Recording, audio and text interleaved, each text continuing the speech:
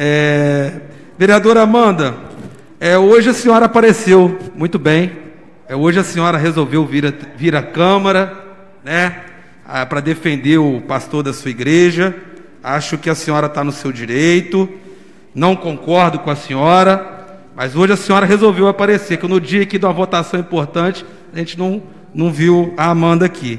Mas é, eu fico feliz em saber que nós estamos aqui no campo do debate e a senhora afirmou que, que não viu eu ser ofendido pelos. Luiz Carlos, dá um favor aqui. Não viu eu ser ofendido pelos membros da, da igreja. Presta. Foi o que que é?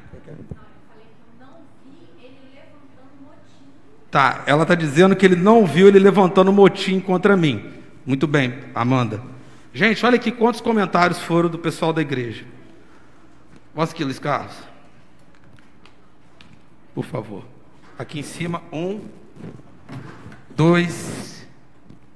Peraí, deixa eu melhorar aqui. Isso tudo aqui, gente, todas essas páginas aqui são comentários. Deixa eu ler um ou outro para vocês terem ideia. Primeiro que aparecer aqui, eu vou ler. É, como uma pessoa que fiscaliza deveria exumar os fatos antes de lançá-lo na sociedade. Fica parecendo que há motivos escusos diante de sua narrativa. Muito infeliz em seu comentário quando se trata de um pastor que tem sua conduta ilibada. Pastor que tem uma conduta ilibada. Eu não estou aqui, Amanda, para julgar o pastor Arnolfo, não estou aqui para dizer que ele de fato furou a fila, não estou aqui para condená-lo, estou aqui para fazer o meu trabalho. E o meu trabalho é fiscalizar essa lista para impedir que injustiças aconteçam. Impedir que a senhora lá que estava no início, com 85 anos, a dona Maria, o senhor José com 90 anos, deixou de ser vacinado. E se morreu alguém por conta dessa vacina? Já pensou?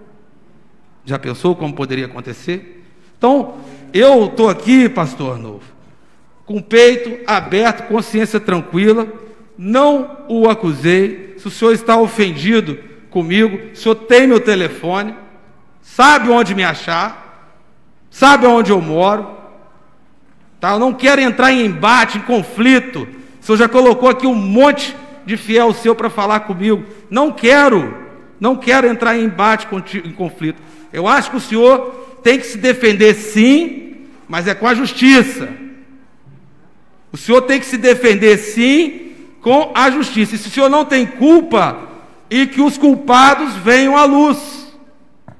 A Secretaria de Saúde tem que informar como que essa vacina foi parar aí na casa do senhor. Agora, por que eu não concordo com isso, que eu acho isso injusto e que eu não acho isso normal? Eu tenho que sofrer 15 qualificações do pastor? Vou mostrar aqui para você, Amanda. A senhora está defendendo o pastor e o vereador, colega seu aqui de quatro anos, me jogando na fogueira. Ó. Ele me chamou de inexperiente, criança, moleque, medíocre, sem caráter, sem ética, desinformado, menino desejoso de fama que teria usado sem, acusado sem provas, afoito em se fazer notado, que divulguei a lista, que eu divulguei a lista, hein? O senhor tem como provar isso, pastor? É, oportunista, leviano, desqualificado e sem cultura. 15 adjetivos ele me qualificou. A senhora acha certo isso, vereador?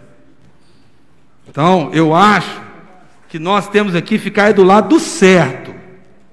Nós não temos que estar aqui para passar pano para pastor, para padre, se cometeu crime, se errou, nós temos que estar aqui, não é para julgar também não, é para apontar, para a gente querer uma vacinação justa e transparente.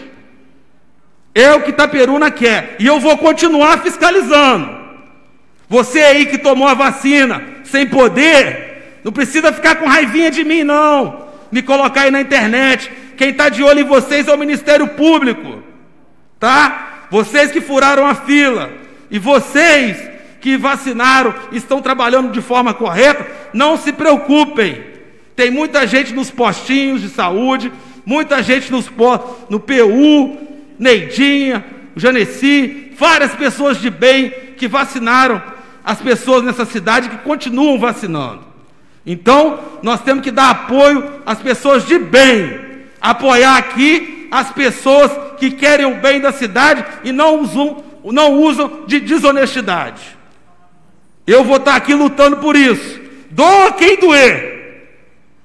Ataques eu estou sofrendo, mas eu estou acostumado. Eu estou acostumado a levar todo tipo de ataque, seja de governo, seja de pastor, seja de quem for. Eu não tenho medo de ninguém, não. Não tenho medo de processo. Não tenho medo de nada disso. Eu tenho temor a Deus. E temor a Deus é dormir com a consciência tranquila. Eu estou dormindo com a consciência tranquila. E o senhor? Só isso. Obrigado, presidente.